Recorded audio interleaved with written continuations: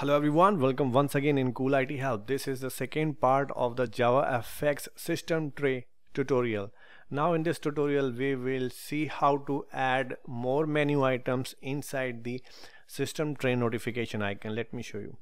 So this is our minimized application. Now you can see we have these two default options only, the menu items. Now we can add more menu items. Also we can add sub menu items in this menu now we will see what we are trying to do right here. You can see in the image we are going to add one menu item on which when we click this will show an alert message. After that we will add one menu which has two sub menu items. So we will see adding of these also. We will see the click action handling on these menu items and sub menu items. I will explain everything in detail let's get started. Now let me take you inside the NetBeans IDE so there we have already created project setup which I have used in my first video tutorial on Java FX system tray. Now you can see this is the same example. This is Java FX application. And these are the lines, the two important lines that we have added in our first tutorial. Now we will continue from this place. Before starting, I would like to tell you one important thing. If you want to set a tooltip on your tray icon, so you can call this method set tray icon tooltip and just pass that string value. Now, in next step, we will create one menu item and then we will associate event handler to it. Okay so guys I have uh, created the code here in the notepad so I will copy this from the notepad and I will put here in this Java file. You can see this is the menu item and this is the JavaFX class. This is not an uh, AWT class. Okay so we are importing JavaFX menu item so very simple. First we have created the object of the menu item and there's a string in the constructor of the class. So this will display on the menu. So this is done at line number 40 now from the line number 41 we are associating event handler. We have used lambda expression with it. It's simple.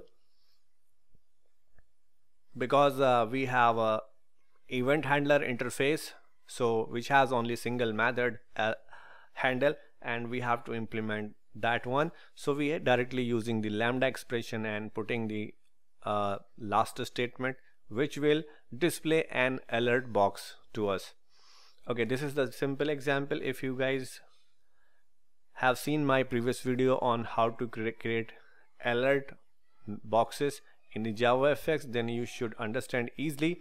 If you have not seen then don't worry. Please watch that video so you will get the clear understanding on the alert boxes. Basically here we are going to display alert box as information and we simply passing the text that will be displayed on the alert box. After that the most important thing we are doing we are calling the show and wait method and this alert box will display until you press ok cancel or close button and now at the line number 43 we are doing the main activity. We are adding this menu item on a main menu of tray icon. This is simple calling the add menu item method. That's it. So we have created one menu item. We associated the event handler to it. Now I just saved it. Now I'm taking build of this project and then we will see this is working or not. So here we go for the clean build of this project. Okay it's done. Now we are ready to so here's the stage. Now I will click on the close button. So this will minimized here in the system tray icon. Now you can see here we have the third option third menu item which we have added. This is displaying properly right here. Now we will see the click action is handled properly or not. I just clicked on it. So it just displayed here that alert box alert message box and the text on it we clicked on menu item. So this is working as we were expecting.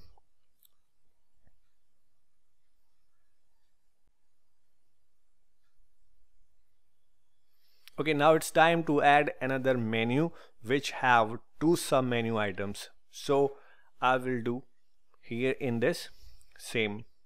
So first I will exit the application and I will go back here in this Java file. Now at this place I will start writing the code. So first we are going to add two sub menu items. That's why we have to add first menu. Then we will associate the child menu items to it. Then we will add it to the main menu of the system tray now this is the code. So here first we are creating menu object at line number 48 it's simple. And the text is just passed in the constructor which will display on the menu. After that we are creating the menu item at line number 49 and the text is item 1 so this will become the child of the menu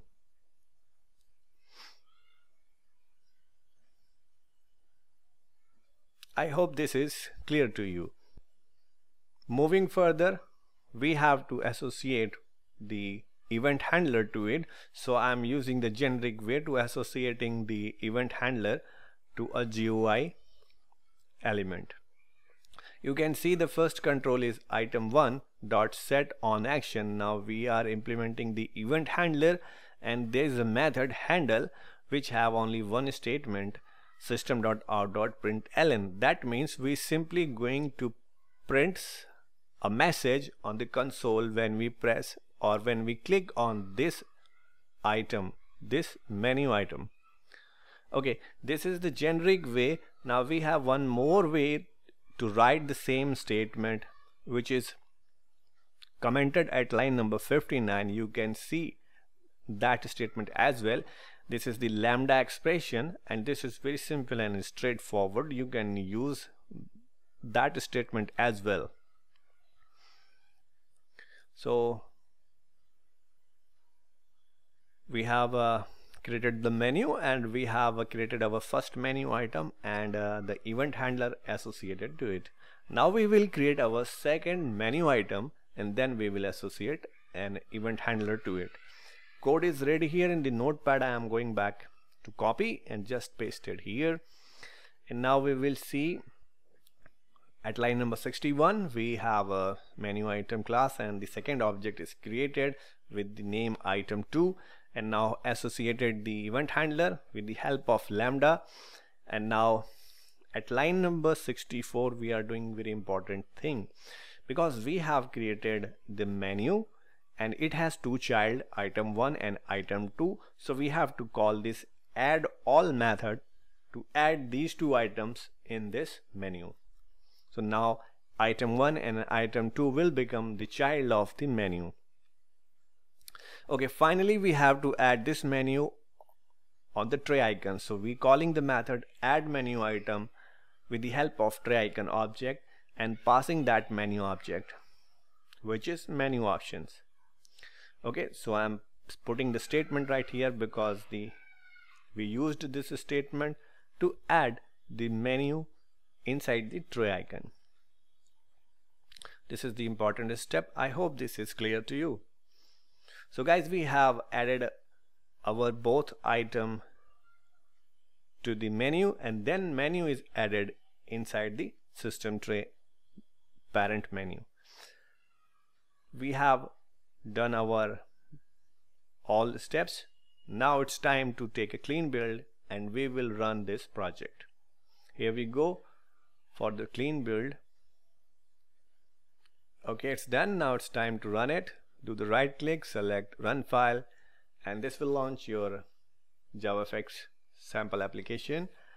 And you will see the stage. Now I will close this stage with the help of this close button and this will be minimized to here in the system tray now I will look here.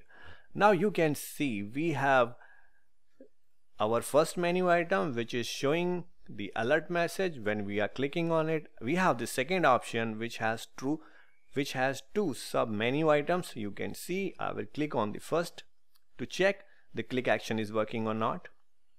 So guys we got the first message on the console this is working properly. Now I will select the item 2 and I will click on it.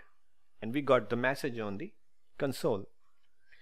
So whatever implementation we have done is working properly right here. So guys this is the way you can add menu and sub menu items in your system tray menu I hope you guys found this video tutorial relevant and useful. Don't forget to subscribe my channel and please like if you found this tutorial relevant. And guys for now, thanks for watching. Cool IT Help.